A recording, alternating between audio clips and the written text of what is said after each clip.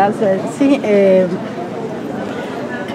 en la jornada electoral 2018 con el ingeniero Arturo Meraz González, presidente del Instituto Estatal Electoral. Para Simple Vista TV nos gustaría saber ya sobre el desarrollo de la jornada electoral. Prácticamente ya inició el PREP también y ya los resultados están en gran avance, pero qué mejor que nos platique para nuestros televidentes lo que está ocurriendo en el estado de Chihuahua. Claro que sí, con mucho gusto. Gracias por la oportunidad de platicar con su público. Bueno, pues después de una, una jornada intensa que iniciamos a las 8 de la mañana con la instalación del Consejo Estatal y las 67 asambleas, por supuesto la instalación de las 5.297 casillas en el estado de Chihuahua, eh, con un ejército de 31.800 ciudadanos vecinos nuestros que nos regalan su día muy amablemente, pero que también tienen la honra de recibir los votos de nuestros eh, vecinos de la sección en la que habitamos. Eh, podemos decir que fue una jornada tranquila, eh, una votación copiosa. A mediodía con el sol y con el calor y el cansancio, la gente estaba haciendo fila, muy paciente, esperando sus seis boletas, tres federales, tres locales emitiendo su voto y llenando las urnas. Eso ha sido sumamente satisfactorio. Es el, el mejor, el mejor regalo que podemos tener las autoridades electorales, ver que la gente salió a votar, porque sin ellos no tiene sentido todo lo que hayamos hecho en estos meses pasados. Una significativa participación de los ciudadanos. Así es, nosotros aspiramos a superar la última elección presidencial, eh, eh, Chihuahua tuvo una votación del 55%. Aspiramos no solo llegar a este número, sino superarlo, ojalá que así sea. Pero lo más importante es que ha sido en paz. Hubo incidentes, como en todo proceso complejo donde interviene la mano del hombre, eh, hubo incidentes, pero... ¿Qué incidentes? Este, puede estos tipos vamos a decir que genéricamente suceden en toda elección.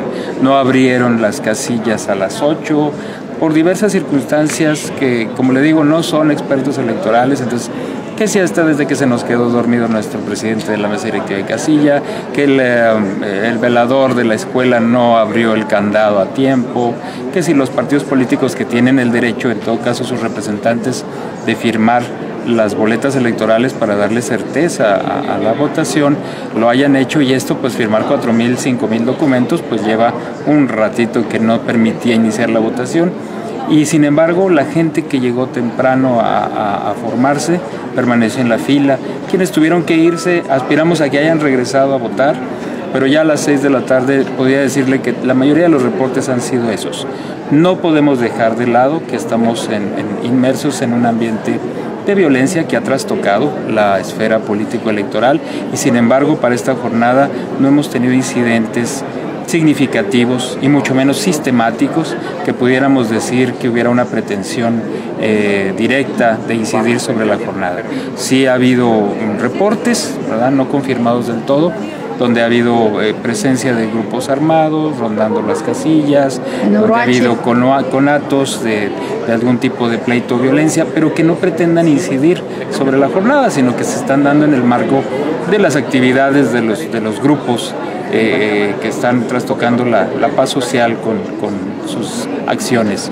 Pero creo yo que lo mejor que tuvimos, que hemos tenido ahorita, es la participación copiosa y tranquila de nuestros ciudadanos. Ahora, ¿qué sigue?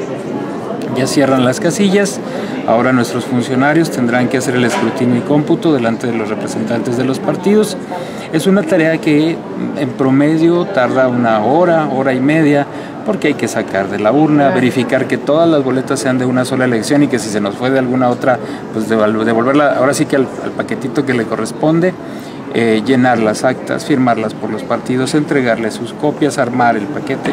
Esto lleva un tiempo. Entonces, eh, eh, esperamos que las casillas, por muy rápido que se pretenda hacer este ejercicio, sí les tomará algunas horas antes de cerrar y esto obligará a pensar que los paquetes electorales pues llegarán todavía más tarde a las asambleas municipales. ¿Qué es lo que pasa? Nuestro PREP, como bien dice usted, a las 8 de la noche inició, eh, se pusieron las bases de datos en cero delante de los expertos del Comité Técnico del PREP y ahorita empezará a recibir información.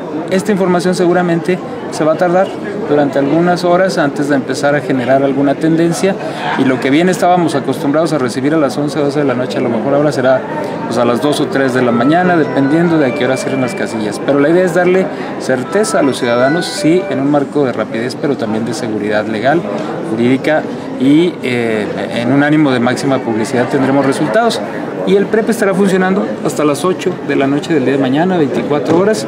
Así es que si usted se va a dormir hoy, porque mañana tiene que trabajar o quiere levantarse a ver el partido de fútbol, bueno, pues en la mañana ya tendrá resultados preliminares. Y eso sí, en el ánimo de la, de la elección presidencial, que aun y cuando, bueno, ya, ya han salido, han salido a, hablar los, los interesados, los candidatos, pues tendremos la, la oportunidad de ver al doctor Lorenzo Córdoba, a las 11 de la noche, tiempo de México, desde aquí, dando la tendencia del conteo rápido, que es tanto para la presidencial como en las que tienen gubernatura.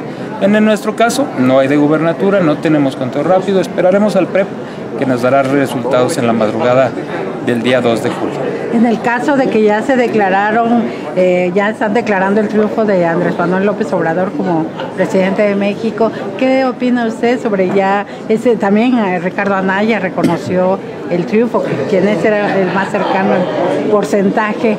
¿Qué opina usted al respecto de esa situación que ya se está conociendo? En materia de, política, creo que eh, es muy importante darle estabilidad a las y los mexicanos, darle estabilidad a este país y el, el, hecho de reconocer no verse favorecidos con los resultados, pues eh, es parte de la democracia, es parte de una actitud cívica, eh, civilidad política y bueno, es, es de eh, de reconocerse.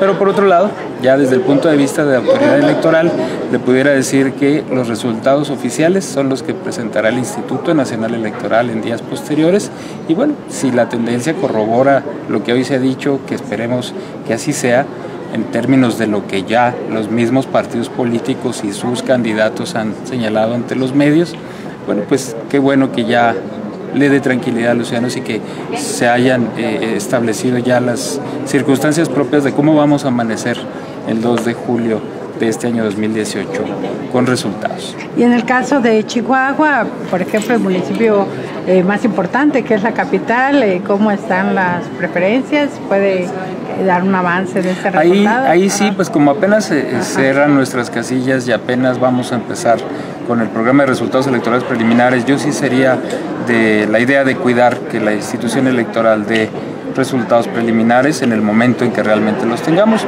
No nos vamos a basar en preferencias, no hicimos ningún estudio de, sondeo de preferencias ni encuestas, de tal suerte que quienes lo hayan hecho, si fueron los propios candidatos, sus partidos o casas encuestadoras, pues tendrán la oportunidad de brindar los resultados a ustedes los medios oportunamente y como le dije ahorita, será la autoridad administrativa la que dé los resultados a partir del miércoles siguiente. La misma situación para los diputados locales. Para todos, así es. Para todos. Muy bien. Y